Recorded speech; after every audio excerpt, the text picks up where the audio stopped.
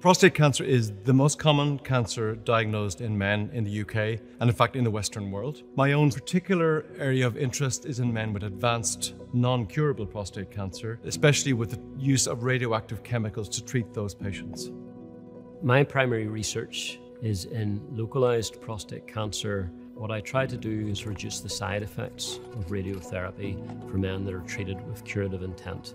I led a clinical trial called the SPORT trial this trial was inherently translational. This was one of the first trials of stereotactic radiotherapy for men with high risk localized prostate cancer. All patients had a perirectal spacer inserted between the prostate and the rectum.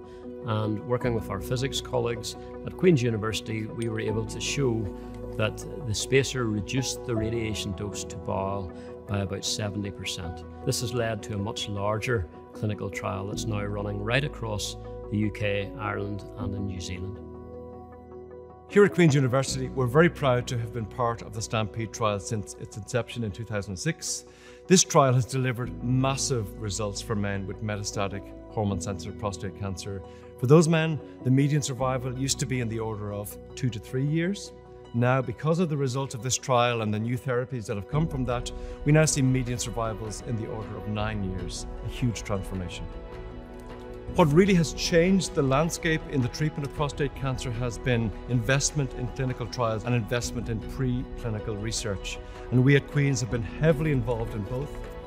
At Queen's, we've been a, prostate cancer centre of excellence for 10 years now. This has allowed us to bring in huge multidisciplinary team, all focused on the prostate cancer challenge. Over the past 20 years here at Queen's University, I've seen a huge improvement in the lives of men with prostate cancer. I really hope that we will continue our development of treatments which both improve quality and quantity of life through innovation, research, and clinical trials.